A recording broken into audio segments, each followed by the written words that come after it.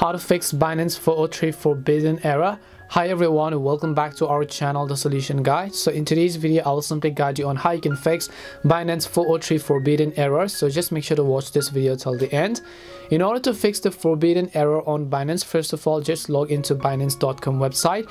And then once you log into Binance.com, you'll basically see this type of interface. And now if you're not being able to log in, maybe it's a forbidden error, maybe you're trying to make a deposit, maybe you're trying to make a withdrawal, or maybe you're just trying to navigate to the website.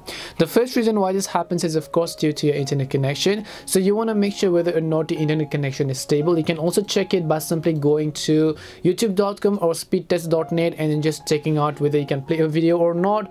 Or else you can just go to this website over here check the speed of your internet connection and then see if your internet connection is actually working just fine.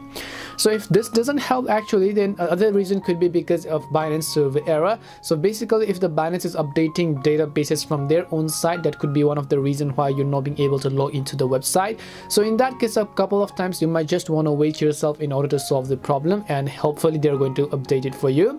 Last but not the least this happens when binance is not available in your region. So if binance app or website is not available in your region in that case you can simply use a vpn in this case i'm using touch vpn to connect and then simply show you guys or you can just download any vpn by going to the chrome web store in this case and once you go to chrome web store you should be able to go ahead and actually successfully use and connect to binance application or accounts and that's all it takes to fix forbidden error on Binance.